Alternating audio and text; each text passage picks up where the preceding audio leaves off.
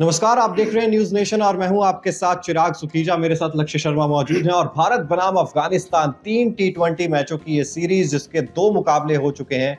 दोनों इंडिया ने जीते हैं लेकिन इसमें एक नेगेटिव चीज़ ज़रूर रही है वो है रोहित शर्मा की बल्लेबाजी। दोनों मैचों में रोहित शर्मा बिना खाता खोले आउट हुए हालाँकि एक मैच में अनलकी रहे रन आउट हुए लेकिन दूसरे मैच में गलत शॉट खेलकर रोहित शर्मा शायद आउट हो गए। लेकिन खाते में तो जुड़े दो अंडे बहुत सिंपल सी बात अंडे और जो चिराग आंकड़े बताएँगे, उसको देखकर आपको विश्वास नहीं होगा, ये हिटमैन। बिल्कुल, ये हिटमैन है और ये आंकड़े हैं रोहित शर्मा के पिछली पाँच टी ट्वेंटी इनिंग्स की बात करें, चेज करते हुए। चेज करते हुए रोहित शर्मा की पिछली पाँच टी ट्वेंटी इनिंग्स आप अपनी स्क्रीन पर भी देख रहे हैं। इस पाँच में से चार डक्स हैं यानी कि पाँच इनिंग्स में से पाँच चार बार रोहित शर्मा शून्य पर आउट हुए। शून्य शून्य चार शून्य शून्य। इसमें से दो बार साउथ अफ्रीका के खिलाफ दो बार अफ़गानिस्तान के खिलाफ और एक मैच पाकिस्तान के खिलाफ चार रन उन्होंने बनाए हाईएस्ट स्कोर उनका उनका हाईएस्ट स्कोर है। और अब जब वापसी करी है उन्होंने चौदह महीने बाद ही वापसी करी है विराट कोहली की तरह टी ट्वेंटी फॉर्मेट में। लगातार दो ज़ीरो से प्रेशर तो उनके ऊपर आया होगा चिराग क्योंकि बात हो रही थी उनकी स्ट्राइक रेट को लेके। यहाँ तो स्कोर ही नहीं बना। बिल्कुल स्ट्राइक रेट को लेकर लग रहा था कि वर्ल्ड कप वाली अप्रोच ही दिखाएँगे यहाँ पर टी ट्वेंटी में ओपन करेंगे पावर प्ले का अच्छा खासा इस्तेमाल करेंगे। लेकिन क्या ये समस्या सिर्फ़ चेज करने के ऊपर है या लग रहा है कि नहीं अप्रोच ही गलत है?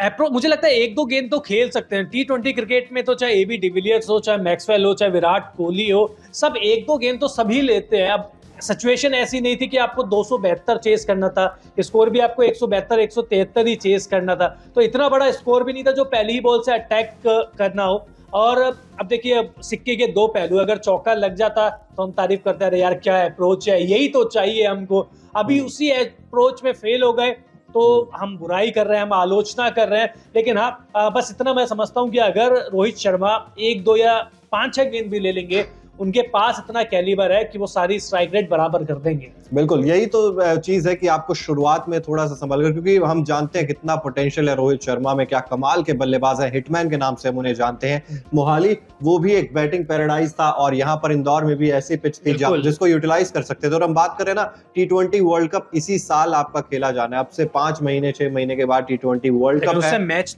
तो एक ही बचा हुआ है। उससे पहले केवल एक इंटरनेशनल मैच बचा हुआ है जो तीसरा टी मैच बेंगलुरु में खेला जाएगा। हालाँकि उससे पहले आईपीएल है, बहुत सारे मैचेस मिलेंगे, लेकिन इंटरनेशनल क्रिकेट की जो प्रैक्टिस होती है, वो अलग होती है, वो अलग कॉन्फिडेंस आपको देती है।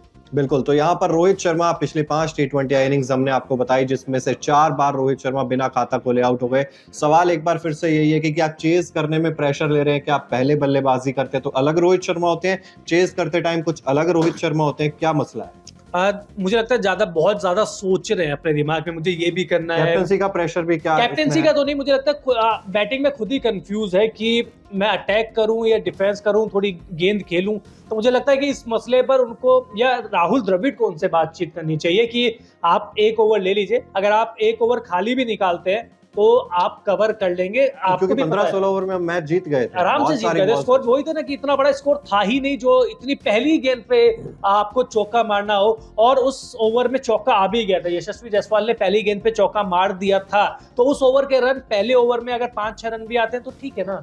बिल्कुल पहले ओवर में रन आ चुके थे और उसके बाद भी रोहित शर्मा ने आउट किया। और ये जो आंकड़े हैं ये शायद रोहित शर्मा खुद तो नहीं सोचना चाहेंगे और शायद हम भी नहीं सोचना चाहेंगे। हम भी नहीं सोचना चाहेंगे। और उम्मीद यही होगी कि तीसरा टी ट्वेंटी आई जो बेंगलुरु में खेला जाएगा एक बार फिर से बैटिंग पैराडाइज है।